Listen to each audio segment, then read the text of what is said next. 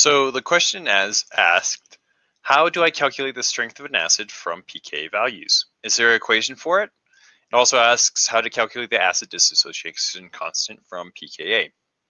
So first we need to understand what pKa is. So pKa is very similar to pH or pOH, in which the P in front of it is really a mathematical operator that is shorthand notation for the negative log.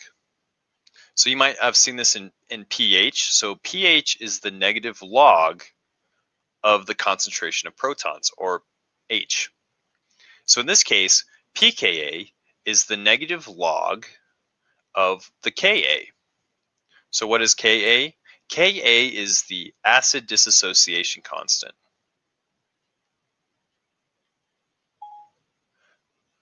So if you are given a pKa,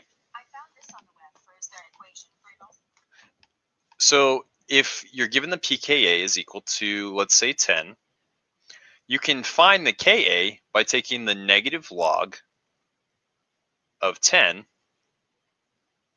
which is equal to negative 1. So if your pKa is 10, your acid dissociation constant, or your Ka, is equal to negative 1. So if we went ahead and go ahead and look at board 2, we can see a, a table of pKa values.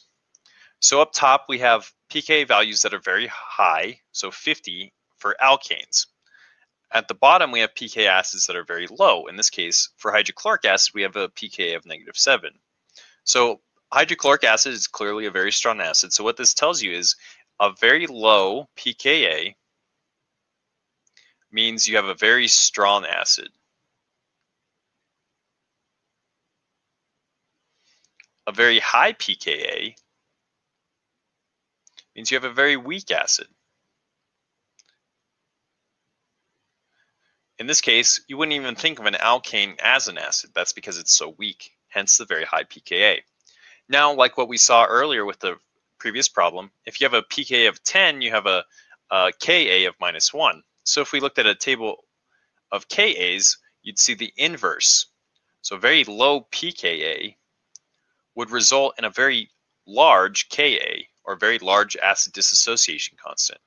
So a low pKa or a large Ka means you have a strong acid.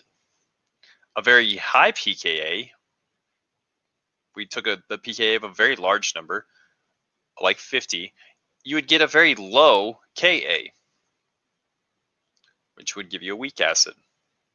So when comparing acids, remember that pKa, you can compare the strength of acids using pKa or Ka, depending on what you have, and really memorizing these values will help you. Of course, you can find the Ka is usually how it's given to you. You can find the Ka time by the products, the concentration of the products, raised to their stoichiometric coefficients, divided by the concentration of the reactants, raised to their stoichiometric coefficients. We can go to a new board.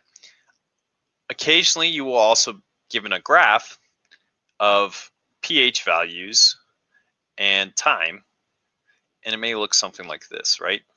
So here you have the combination of a strong acid, strong base. Right here is the inflection point, or wherever the, the concentration of the acid is equivalent to the concentration of the base. So in this case, the concentration of protons is equal to the concentration of, we'll just say, hydroxide ions. And now right here, halfway between the inflection point and your start, this is the pKa. So there's a few ways to find it. This way is very uncommon, but I thought I would add it anyway. So to conclude, this is how you could find pKa from uh, the Ka and what does it mean as far as comparing strengths of acids.